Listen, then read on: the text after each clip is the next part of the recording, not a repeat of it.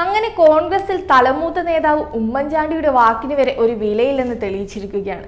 സതീശൻ അങ്ങനെ പൂണ്ട് വിളയാടുകയാണ് യൂത്ത് കോൺഗ്രസ് സംസ്ഥാന പ്രസിഡന്റ് തെരഞ്ഞെടുപ്പിൽ ഉമ്മൻചാണ്ടിയുടെ തീരുമാനത്തെ തിങ്കൾ രാത്രി തുടങ്ങി ചൊവ്വ പുലർച്ചെ വരെ നടന്ന ചർച്ചയിലും തീരുമാനമാകാതെ പിരിഞ്ഞ യോഗത്തിന് ശേഷമാണ് രാഹുൽ മാങ്കൂട്ടത്തിനെ സ്ഥാനാർത്ഥിയായി പ്രഖ്യാപിച്ചത്. ഉമ്മൻചാണ്ടി നിർദ്ദേശിച്ച ജെ എസ് അഖിലിനെ ഒഴിവാക്കിയാണ് വി ഡി സതീശന്റെയും ഷാഫി പറമ്പിലിന്റെയും താല്പര്യപ്രകാരം രാഹുലിനെ സ്ഥാനാർത്ഥിയാക്കിയത്.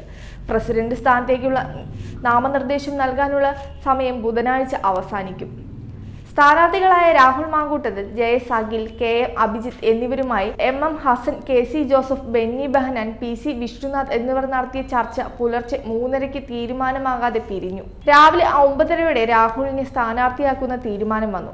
ഉമ്മൻചാണ്ടിയുടെ നോമിനിയായാണ് കഴിഞ്ഞ തവണ ഷാഫി പറമ്പിൽ പ്രസിഡന്റായത്.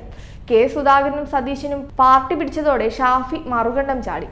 ഔദ്യോഗികമായി എ ഗ്രൂപ്പ് എന്ന് പറയുമ്പോഴും സതീശൻ പക്ഷത്തോട് ചേർന്നുള്ള നിലപാടാണ് കഴിഞ്ഞ കുറച്ചു നാളായി ഷാഫി സ്വീകരിക്കുന്നത്. ഇതിനൊപ്പം നിൽക്കുന്നയാളായതാണ് രാഹുലിന് നേട്ടമായത്. ഐ ഗ്രൂപ്പിൽ നിന്ന് ചെന്നിത്തലയുടെ നോമിനിയായി അഖിൽ വർക്കിയും കെ സി വേണുഗോപാലിന്റെ അനുയായി ബിനി ചുളിയിലും മത്സരരംഗത്തുണ്ടാകും. പുതിയ സാഹചര്യത്തിൽ എ ഗ്രൂപ്പിൽ നിന്ന് നാലു പേർ വിമത സ്ഥാനാർത്ഥികളാവും.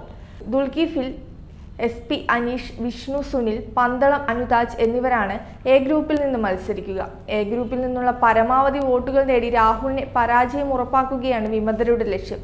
ഏതായാലും ഇതിലൂടെ മനസ്സിലാവുന്നത് കോൺഗ്രസിന് പുതിയ കലഹത്തിന് തുടക്കമാകുന്നു എന്നാണ്.